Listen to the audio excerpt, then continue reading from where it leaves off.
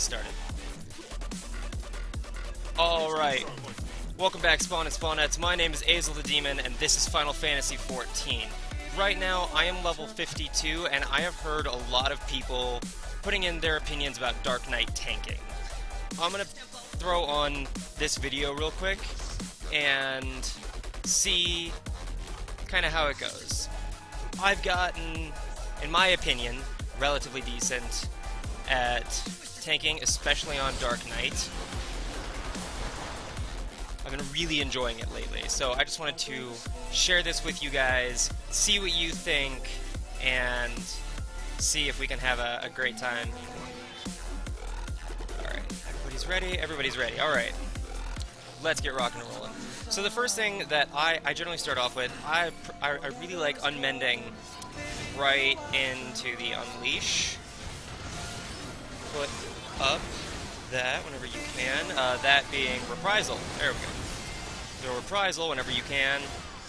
And then for, for, for the most part, I... Sorry, I'm trying to make sure that I am maintaining aggro for this whole fight as we're going. I try to use my regeneration combo more often. Sorry, I apologize. I just got started streaming and trying to make sure I've got everything under control at the same time. Alright, we're back in. Alright, so yeah, I try to make sure I'm using my rotational regeneration combo for the most part when I'm tanking on Dark Knight. Making sure that we're keeping our MP up and using our healing ability. There we go. So yeah, Hard Slash into Syphon Strike for MP, and then Soul Eater for that HP regeneration. Makes the healer's job a little bit easier, and you're not losing too much potency per second for making sure that the dungeon is going smoothly. That's kind of been my personal experience with tanking a, as a Dark Knight. You can usually unmend twice per fight. Oh, we okay, yeah. And then there we go. Now we've got everybody. And always keep your blood price going as often as you can. Doing that really ensures that you're keeping enough mana going. Is that where that's where Salted Earth is, okay. But I can't quite do that one in this dungeon, I forgot. Because this is a level 50 dungeon. That.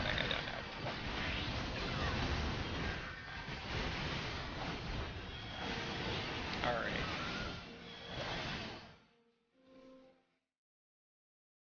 So yeah, that would be the uh, the basics for tanking for Dark Knight. If you find yourself running low on MP a lot of the time, maybe only do one unmend, unmend, unleash. Ah, apologize for the mistakes. For your cooldowns, that's another really big thing. Dark Knights can be a little squishy, but if you are rotating your cooldowns properly, your healer shouldn't have much of a problem making sure you're taken care of. I haven't been having a whole lot of issues with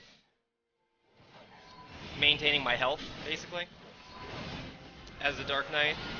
That's not a problem I've, I've been personally running into. It's always possible other people are having different issues. This is an MMO, and randomness is a thing that can be a problem. Alright, moving on. A general tanking tip from my experience again. A, lot of what I'm going to be saying is just from my own personal experience. Other people are going to have different experiences and are going to have slightly different styles of tanking, and that's absolutely acceptable. That's their own thing. Um, and with that disclaimer, I completely lost my train of thought. Alright. So yeah, for your boss opener, get your dots up first, and then start rotating through your cooldowns. So I start off with Shadow Wall. I just go right in this order. Shadow Wall to Shadow Skin to Foresight to Dark Dance. Sometimes I'll use Dark Dance situationally. Alright, I got it. Alright.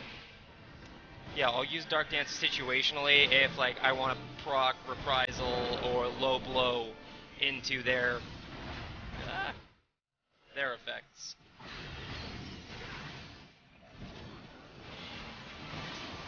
But other than that, of course, you want to use your blood bla- blood blood blast blood bath if you find yourself getting lower on HP, or you can also use uh, dark arts and soul eater. Dark arts and soul eater can also be a pretty great HP recovery tool, especially if you combine it with blood black. Blood bath. God, I cannot get that word right.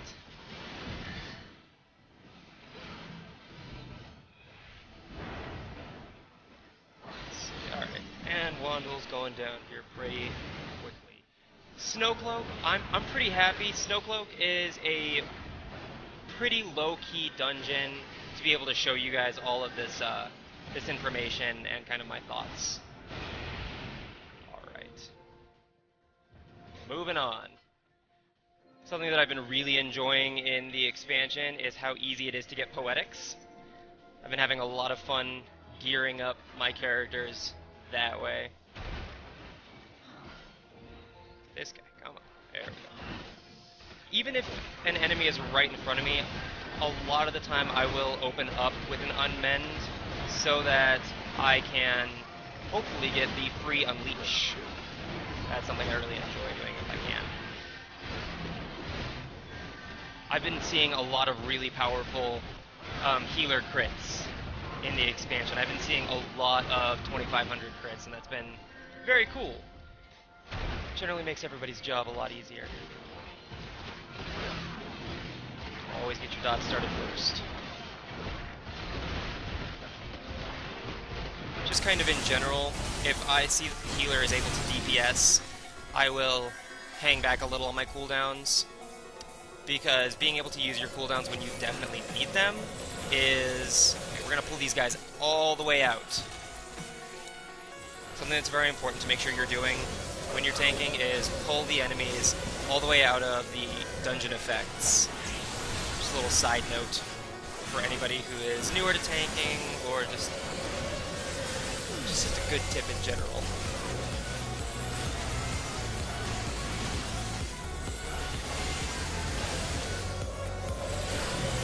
Especially as Dark Knight, when you can, you want to make sure you're getting your dots onto the other enemies so that they are doing that a little bit of extra damage, making sure you're holding aggro on them as you're trying to DPS down the other monsters.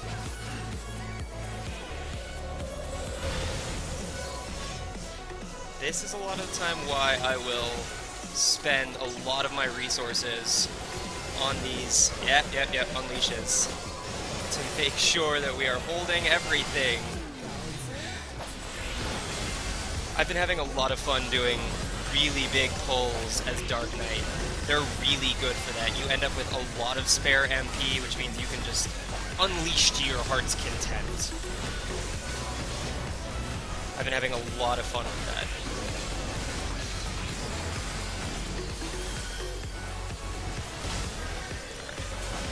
Ice down. It's my, my personal goal. I see that they, uh, as the DPS, are getting the other monster down kind of on their own. And that's just something I'll do as a tank. If I see that I am not losing a lot of aggro, I will start working on a different monster than the rest of the party. Just to be sure that we're getting sort of a better aggro distribution. Or, sorry, not aggro distribution. Crap. Alright, we got everybody. So now we're definitely going to make sure that we've got blood price going with a huge pull like this. There we go.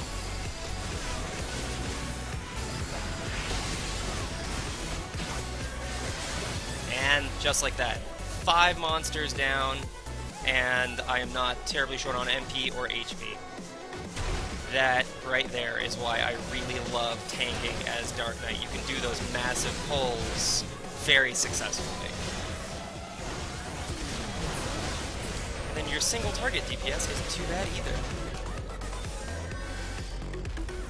Yeti. I really enjoy boss fights that are primarily about uh, the tank. makes me feel very, very important, and I really enjoy that.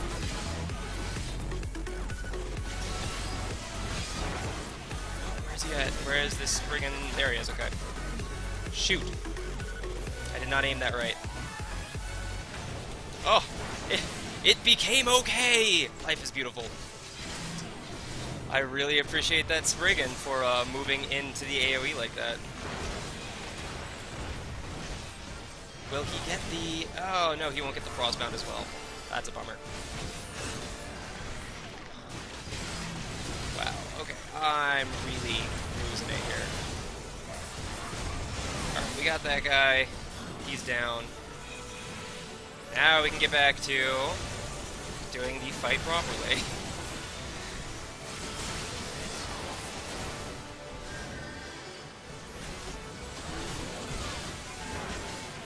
Right now, my main goal is just trying to make sure that I've got these... I've got my dots up. Oh, Northerlies! I don't think we're going to be able to properly dodge this. Wow, we did it? Alright, we did it.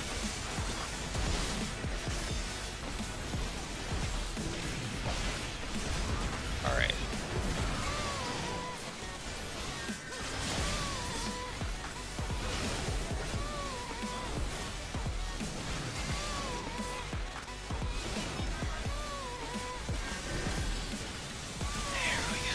Alright.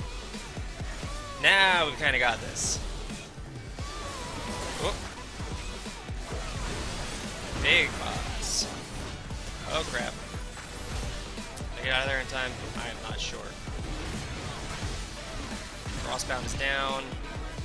Okay.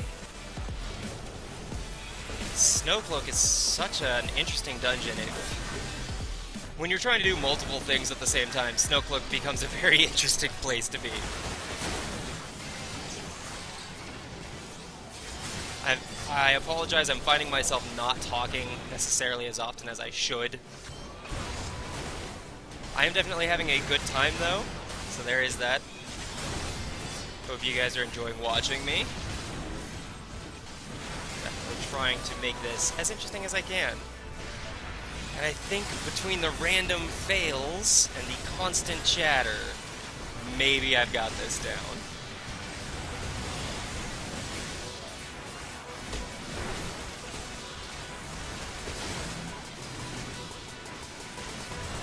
And Yeti's down. Excellent. Alright. Really makes me happy when uh, Yeti goes that that well. Excellent, I'm getting a lot of level 90 gear. Alright. Let's get all these, because from what I saw last time, because it, it has been a while since I've done this dungeon, the Glacier sprites, you don't have to worry a whole lot about those guys. Yeah, look at this, the uh, this guy's just running right for... Okay, let's pull to right here. Feel like that's a pretty great spot. And there we go. No more guys. I have not lost Dark Side. It's very important. Very, very important as tank that you do not lose Dark Side. That extra... Ah, yes, absolutely Sprocket. I'm, I'm glad you're enjoying it. Um, Sprocket is somebody who is hanging out in my Twitch chat because I am streaming this recording as I'm doing it. Um, getting back to it real quick. Yes, do not lose Dark Side if you are tanking. Absolutely do not. The extra aggro that you get from... Ooh, okay, we got this. The extra aggro that you get from Dark Side is completely necessary for successfully tanking as Dark Make sure you are holding your Dark Side. Okay, that guy's down. Ice bombs. Ah!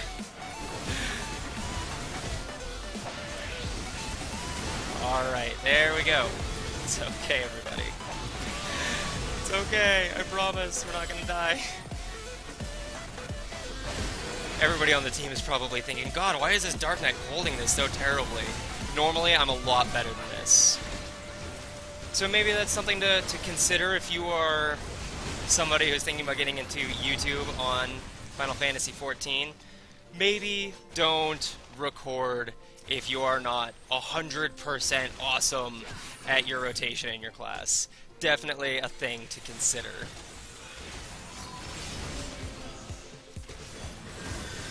I hope you guys are having fun. Oh wow, okay. Tumblers are coming in.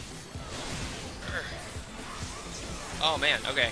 And I lost my AoE aggro generation.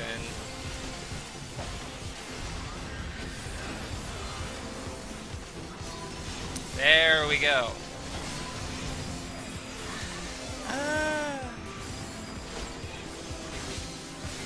Big fights. I really should be doing this a lot better.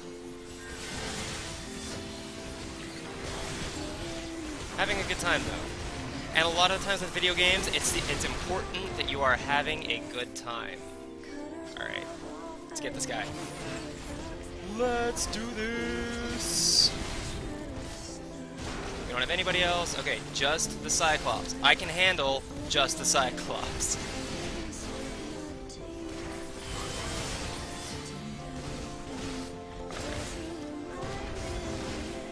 Something I have a lot of fun paying attention to on tank is seeing. see, where do we go from here? We go down from here. South, I should technically say. Oh, right, with the Dove Avises and the guys who transform and stuff. This is a fun little section of the dungeon. This can get out of hand if you're not careful. In Snowcloak, this is, uh, very specifically, this is a part of the dungeon that I see a lot of difficulty in. There's a portion a little bit later up in the fight where there are two Dove Avises and there's a Cherry Harrier, one of these guys who transforms. If you don't DPS him down like a madman like this team did, that was a, that was crazy. I've never seen that happen. so, target this guy, and then DPS him down, because when this Dragon's Blood finishes casting, he will turn into another Dove Avis. And that, ah, yep, right there. We got the extra Dove Avis, and you'll see I precast my defensive cooldown here, because from what I've seen, these Dove Avis, they have a great amount of DPS. If you're not careful, you can really get wrecked by these guys. So in Snowcloak specifically, especially as a Dark Knight, make sure you've got your, your cooldowns ready for this part of the fight. There's an aggro again. Okay, there we go. Now we got it. Those strident screams, they're bad. Alright. And there, no big deal. We've got this. Healer doesn't have too low HP, so I feel like I am doing my job properly.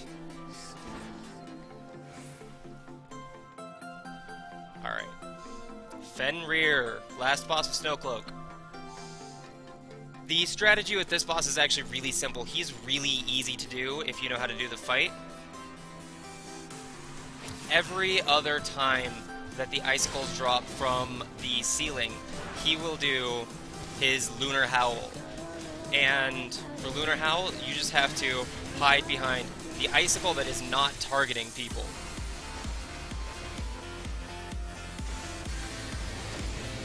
I don't think I quite got... Oh, wow. But it's okay, I think my stone skin was still up, so it was all good. So those three AoEs, those are going to drop down three icicles. Those three icicles, two of which are going to target people and then go away. This last one right here, this will stay until he does Lunar Howl. After he does Lunar Howl, it'll also explode and go away. So you may have seen everybody in my party running to get behind that. A lot of people forget that it's every other... Alright, so now we've got the three that go down, and then these two, boom. So now we're going to hide behind this one right here. He's going to do his Lunar Cry. I'm going to lose a bunch of aggro because I can't quite get in to hit him. Alright. And we're going to get our dots back up and then get back into our rotation. And that is basically how you kill Fenrir in Snowcloak. Just a quick little tutorial also in the middle of this recording. and this is where I really have fun tanking is on bosses. Bosses last long enough that you can kind of make sure that you are getting your rotations in properly, you are doing all of the stuff you basically need to, and you get the actual time to do your rotations. Get out of the AoE, watch them land, see which two are to hit people, and then get behind the one that's not. Just like that. He's to get Lunar Cry in. Awesome. I was very worried. Oh, nope. We did lose. Who did we lose? Oh, we didn't actually lose anybody. Somebody definitely got hit by that and didn't die, so that's fantastic. Alright. Give our player combination to the healer, just because that's kind of generally what I enjoy. Get the last piece of loot in the dungeon. And there we go. There is your quick guide to tanking as a Dark Knight in high-level dungeons. I hope you guys enjoyed the show. Like, favorite, and subscribe if you guys did. Um, also, share if you can. I really appreciate that. And then I've got the rest of the the Demon brand down in the description below. I hope you guys have a great rest of your day, and I will see you next time.